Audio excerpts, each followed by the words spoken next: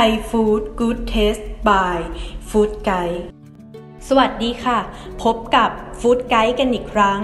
วันนี้เรามีอะไรจะมานำเสนอ โปรดติดตามรับชมได้เลยค่ะ ต้มจับชาย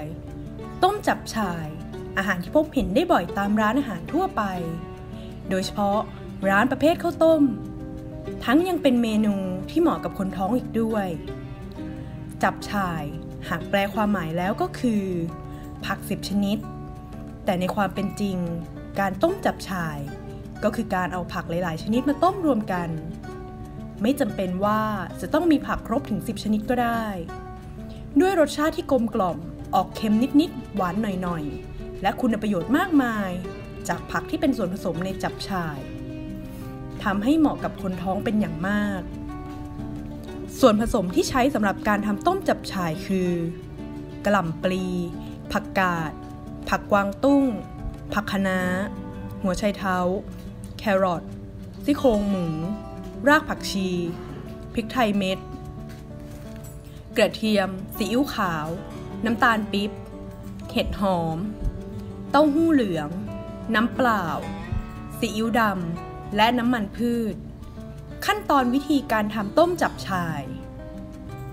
1. ให้นำเอารากผักชี กระเทียม และพริกไทยเม็ด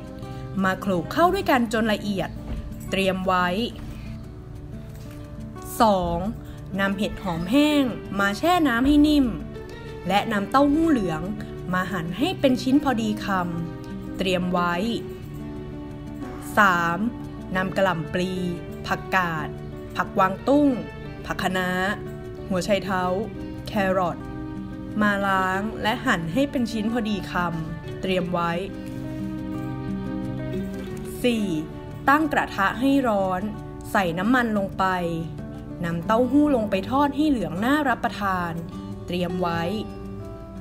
5. ตั้งกระทะให้ร้อน ใส่น้ำมันลงไป จากนั้นนำเอาส่วนผสมที่โขลกไว้ ลงไปผัดกับน้ำมันในกระทะ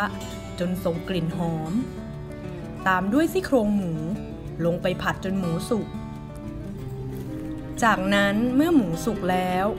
ให้นำเห็ดหอมที่แช่ไว้ ใส่ลงไป รวมทั้งผักที่หั่นไว้แล้ว ใส่ลงไปผัดกับหมู และเครื่องปรุงในกระทะ พร้อมเหยาะซีอิ๊วขาวลงไป ผัดจนผักสุก จากนั้นตักขึ้นพักไว้ โดยระหว่างที่ผัด ให้เติมน้ำลงไปเล็กน้อย เพื่อป้องกันไม่ให้กระทะไหม้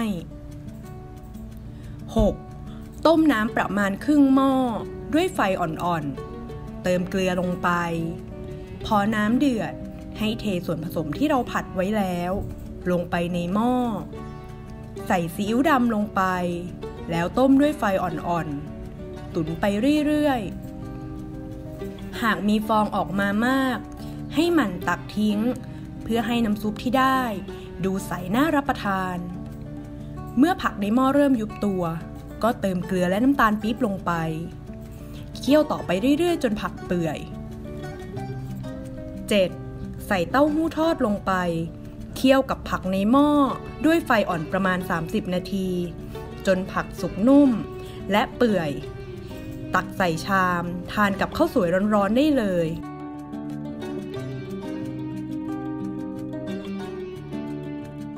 จบไปแล้วนะคะสำหรับการนำเสนอในครั้งนี้ ในคลิปต่อไป